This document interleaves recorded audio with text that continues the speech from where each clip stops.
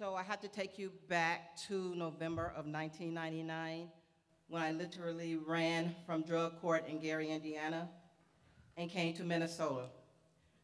Leaving Indiana resulted in a warrant for my arrest. Not even a week in Minnesota, I was still struggling to stop using drugs. So in a God-given moment of sanity, I decided to go and have a chemical health assessment. I was diagnosed with a drug addiction, an alcohol addiction, and a tobacco addiction, and was also determined to be homeless. The assessor recommended me to Turning Point for residential treatment. Turning Point, um, they got a hold of my judge in Gary, Indiana of drug court, the Honorable Karen Freeman Wilson. I have to call her name because she's awesome.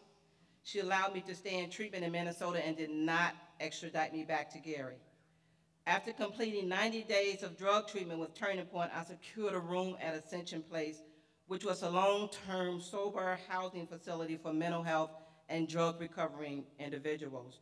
I lived there for about a year and then went to live at Recovery Resource Center, which is another uh, long-term recovering program. I was still considered homeless. While still in treatment and sober housing, I was approved for a one-bedroom apartment through the Minneapolis Housing Authority.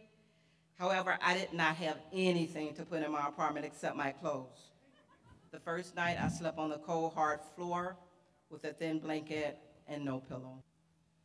So I was excited when the day of my shopping appointment with Bridging finally came.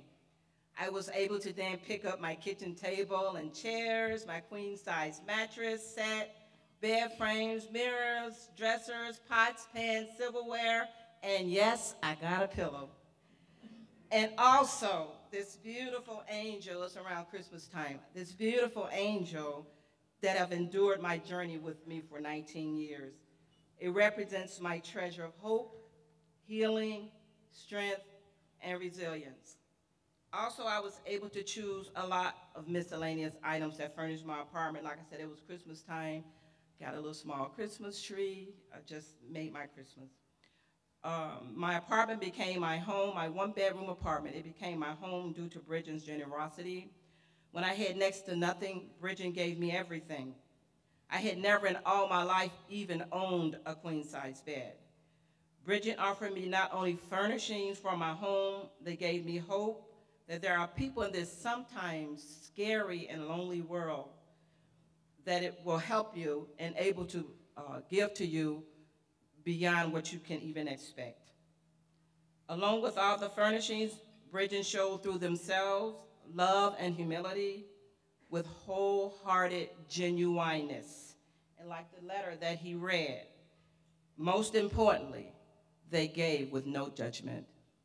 Bridging did not only furnish my apartment, they furnished my heart and my soul with a fire to serve that community that helped save my life. I now have a bachelor's degree in chemical dependency. I'm a licensed alcohol and drug counselor. I earned a master's degree in psychology and psychotherapy while battling uh, stage two cancer. I was also the commencement speaker at my master's graduation ceremony. I got a standing ovation from my peers after I told my story. And I recently,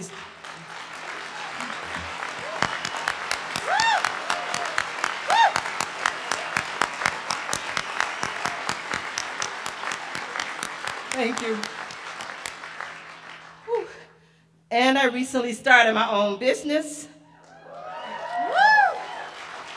Teaching DWI classes and providing substance use disorder assessments for low income and no income uh, individuals. I intentionally set my prices low, and I also work uh, with clients at a reduced rate. Once a month, I waiver their fee altogether for one person with zero income. Like bridging, I wanted to give back. After starting my business, I wanted to become an ongoing donor to a local charity, but I struggled to re uh, reach a decision of who that charity would be. At that time, my son became homeless, and he eventually found an apartment, but he needed some furniture, and so I thought about bridging. Um, as I looked on the website to see how to refer him, I began to realize that becoming partners with Bridging would bring me full circle. With no doubt or hesitation, I knew Bridging was the organization I wanted to donate to and partner with. Today, I am honored that I have transitioned from Bridging's client to their partner and colleague. And lastly, a quote by Emily Dickinson. Hope is the thing with feathers that perches in the soul and sings the tune without the words and never stops at all. For me, bridging was and is a face of hope. Thank you and God bless.